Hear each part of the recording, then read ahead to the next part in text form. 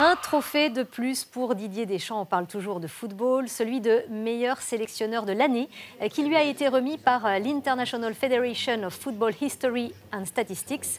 Un trophée qu'il a reçu alors qu'il participait au journal Inattendu ce midi sur RTL. Ce prix, individuel, il le dédie au collectif. Euh, vous allez entendre sa réaction. C'est surtout grâce aux résultats que l'équipe de France euh, a obtenus, même si c'était une année particulière, euh, réduite, mais avec ce qu'on a pu réaliser, se qualifier pour le Final Four de la Nation League. Donc, euh, merci à mes joueurs et bien sûr un trophée à partager avec l'ensemble de mon staff qui est très important pour moi dans mon travail au quotidien. Et les Bleus seront de retour en mars pour les qualificatifs à la Coupe du Monde 2022, puis en juin pour l'Euro.